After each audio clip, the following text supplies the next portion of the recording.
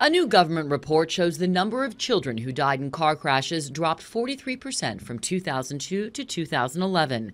Researchers believe more parents are using seatbelts and car seats, but say there's plenty of room for improvement. The study found one in three children who died in crashes were not buckled up. Doctors at Northwestern University say young adults with high blood pressure are at greater risk of heart problems later in life.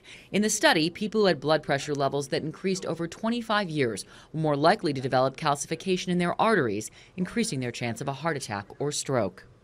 And Harvard researchers say people can reduce their risk of heart problems by following a healthy Mediterranean style diet.